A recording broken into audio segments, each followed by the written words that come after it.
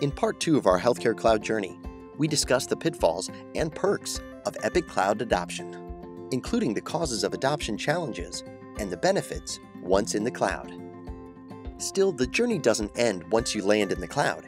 Even with application managed services, someone will need to oversee steady state operations.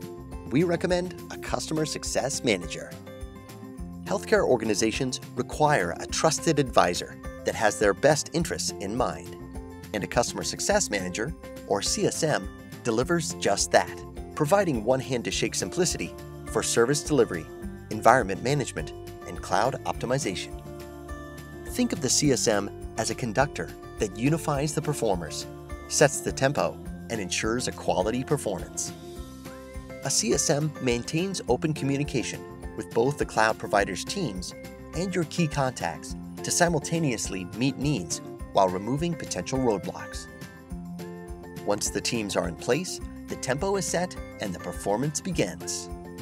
The CSM works directly with the client to set priorities and, as your trusted advisor, shares knowledge and best practices from other Epic customers, accelerating potential improvements.